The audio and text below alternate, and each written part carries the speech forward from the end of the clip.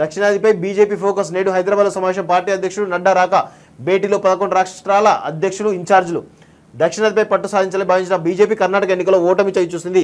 South స్టేట్స్లో అధికారంలో ఉన్న ఒక్క రాష్ట్రాన్ని బీజేపీ కోల్పోయింది. దక్షిణాదికి గేట్వేగా తెలంగాణ ఫిక్స్ చేసుకున్న కమల్నాథ్లు పట్టి సాధించేందుకు కసరత్తులు ముమ్మరం చేస్తున్నారు. కర్ణాటక ఎన్నికల్లో ఎన్నికలతో తారుమారు. ఒక్క కర్ణాటక ఎన్నికలు రాజకీయ ముఖ చిత్రాన్ని మార్చేసే కర్ణాటక నాట ఎన్నికల ఫలితాలు కాంగ్రెస్కు ప్రాణం పోస్తే బీజేపీని వెంటిలేటర్ మీద పడుకునే చేసింది. అందుకే బీజేపీ సౌత్ స్టేట్పై తమ కమాండ్ను పెంచుకోవాలని గ్రౌండ్ లెవెల్లో మరింత స్ట్రాంగ్ కావాలని వ్యూహరచన చేస్తోంది. అందుకే హైదరాబాద్లో ఆదివారం పదకొండు రాష్ట్రాలకు చెందిన బీజేపీ అధ్యక్షులు రాష్ట్ర వ్యవహారాల ఇన్ఛార్జ్తో పార్టీ జాతీయ అధ్యక్షుడు జేపీ నడ్డా కీలక సమావేశం నిర్వహించనున్నారు.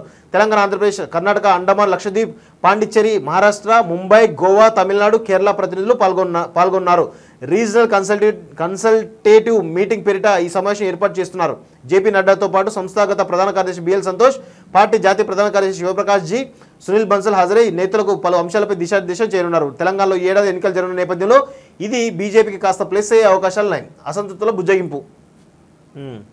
సో మొత్తానికైతే బీజేపీ దక్షిణాదిపై ఫోకస్ పెంచినట్టుగా తెలుస్తూ ఉంది. కర్ణాటక తర్వాత ఇక్కడ ఈ బీ ఇక్కడ పదకొండు రాష్ట్రాలు ఉంటాయి. చిన్న చితక కలిపి పదకొండు రాష్ట్రాలు వీటన్నిటిపై పట్టుకోల్పోయినాడు ఇక్కడ. ఎక్కడ కూడా బీజేపీ లేదు. సో ఇప్పుడు ఏంటంటే తెలంగాణలో తెలంగాణ ఒక్కటే ఇప్పుడు ఒక ఆప్షన్గా ఉంది కాబట్టి ఇక్కడ ఎట్లయినా గెలవాలనే దాంట్లో వాళ్ళు ఉన్నట్టు మనకు అర్థమవుతా ఉంది.